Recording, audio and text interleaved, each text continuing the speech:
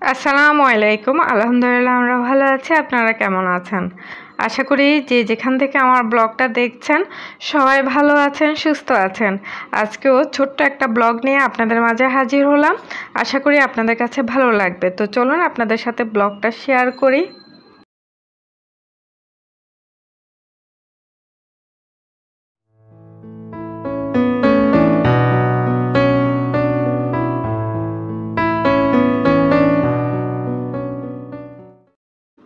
আজকের ব্লগে আপনাদের সাথে সকালের নাস্তাটাই শেয়ার করব।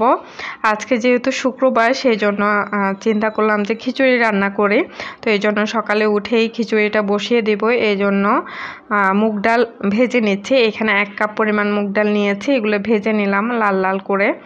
আর একটু মুগ ডালটা ভাজার ইয়া হচ্ছে যে একটু গ্রান বের হলে আর একটু ব্রাউন কালার হলেই নামিয়ে ফেললে হয়ে যায়। সুন্দর একটা গ্রান বের হয় মুগ ডাল থেকে। এরকম ভেজে নিলে। আর এক কাপ পরিমাণ দিলাম মুসুর ডাল। এই দুই কাপ হলো আমার ডাল আর দুই কাপ হলো চাল দিব আমি। এই কাপটা দিয়ে মেপে নিয়েছি আমি।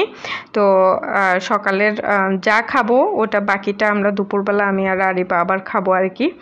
যেহেতু অল্প করে রান্না করতে ইচ্ছে করে না, এই জন্য একটু বেশি করে রান্না করলাম।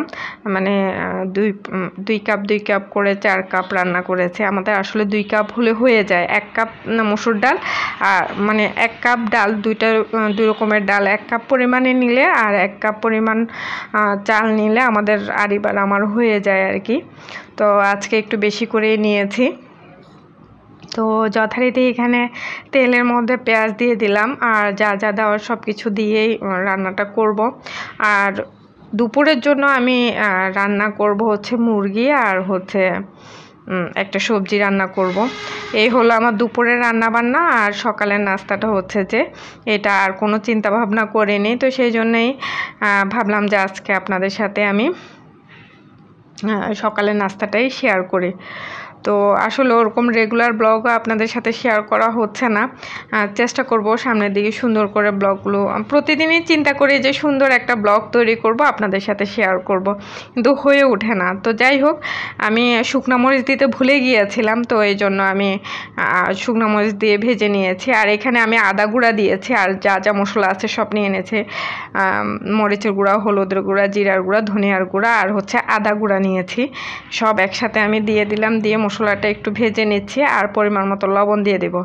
আমি এখানে গোটা মশলাটা একটু পরে দিব, ওটা দিতে আমার স্কিপ হয়ে গিয়েছে। আমি গোটা মশলাও দিয়েছি, এলাচ, দারচিনি, তারপর গোলমরিচ, লং, এই চারটা মশলা দিয়েছিলাম। তো ওটা স্কিপ হয়ে গিয়েছে। এর মধ্যে আমি চাল আর ডালগুলো ভালো করে ধুয়ে নিয়েছিলাম, ধুয়ে পানি ঝরিয়ে রেখেছি। এখন আবার দিয়ে দিয়েছি মশলার সাথে। মশলার সাথে ভালো করে এটা ভেজে তারপর গরম পানি দিয়ে দিব। দিয়ে খিচুড়ি যেভাবে রান্না করো ওইভাবে রান্না করে নেব আর কি। তো সকালে নাস্তা, এটা খিচুড়িটা খাব আমরা ডিম ভাজি দিয়ে ঠিক করেছি আর কি। চাল আর ডালগুলো ভালো করে ভাজা হয়ে গিয়েছে। এখন গরম পানি দিয়ে দিলাম, দিয়ে আর এখন ঢেকে দিব, আর কিছু করব না। পানিটা শুকিয়ে আসলে একটু নেড়ে চেড়ে দিব এই আর কি। তো এটা হতে থাকুক, আর অন্যদিকে হচ্ছে যে আমি ডিম ভাজির প্রিপারেশানটা করে নিচ্ছি। কারণ খিচুড়ি হতে বেশি সময় লাগবে না। তো ডিমটা ভাজা হয়ে গেলে গরম গরম খাওয়া যাবে। তো যাই হোক, আর আরিবের বাবা এখনও ঘুম থেকে উঠেনি। আর এবার আমি উঠে গেলাম। আরি পড়তে বসেছে, এই ফাঁকে আমি এটা করছি আর কি। তো এখানে আমি পেঁয়াজ বেশ খানিকটা দিয়েছি, আর কাঁচামরিচ দিয়েছি দুইটা, আর লাল মরিচের গুঁড়া দিয়েছি, লবণ দিয়েছি এই তিনটা ডিম ভাজি করব এই পেঁয়াজগুলো দিয়ে। তো সবাই তো ডিম ভাজি করতে পারে না, আমি ভেজে নিচ্ছি।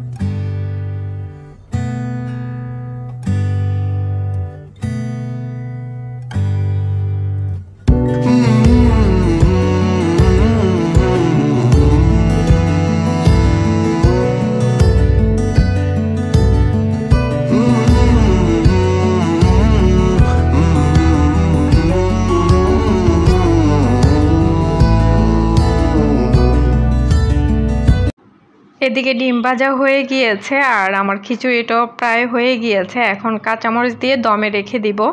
আর ডিম ভাজাটা আমি টেবিলে নিয়ে যাচ্ছি আর এর ফাঁকে এটা হয়ে যাবে। আর আরিফকেও ডেকে নিয়ে এসেছে খাওয়ার জন্য। আমি আর আরিফ খেয়ে নেব আর আপনাদের ভাইয়া একটু পরে খাবে। আপনাদের মনে আছে আমি যে আমরার আচার করেছিলাম আর আমরা ছিলকার চাটনি করেছিলাম? ওই আমরার আচারটাই দেখতে পাচ্ছেন, খেয়ে আমরা শেষ করে ফেলেছি। আজকেও আমরা খিচুড়ির সাথে খাব। আসলে মজা হয়েছে আচারটা, আপনারা আমার রেসিপিটা দেখতে পারেন। এভাবে আচার করে কিন্তু সারা বছর সংরক্ষণ করে রাখতে পারেন। আর আমরা সিজন তো বেশি দিন থাকে না, তো আশা করি আপনারা আমার রেসিপিটা ফলো করবেন। আসলে অসম্ভব মজা হয়েছে আচারটা। আর এখন আমি খাব খিচুড়ি। আর খিচুড়িটা খাওয়ার পরে আপনাদেরকে আরিবের আঁকা কয়েকটা ছবি দেখাবো। লকডাউন লকডাউন না মানে ও অবসর সময়ে যে ছবিগুলো স্কেচ করে আর কি, ওগুলো একটু আপনাদের সাথে শেয়ার করব। আশা করি আপনাদের কাছে ভালো লাগবে। এই হলো আমার সকালের নাস্তা। আর আপনারা কে কে পছন্দ করেন এভাবে ডিম ভাজি দিয়ে, কাঁচামরিচ দিয়ে, শুকনো মরিচ দিয়ে খিচুড়ি খেতে। আর তার সাথে হচ্ছে যে আচার। আসলে আমার কাছে তো অসম্ভব ভালো লাগে। আপনাদের সাথে তাই শেয়ার করলাম। তো আমি খেতে থাকি। আর আপনারা ওই যে ছবিগুলো দেখার জন্য অপেক্ষা করেন। একটু পরেই আসছি।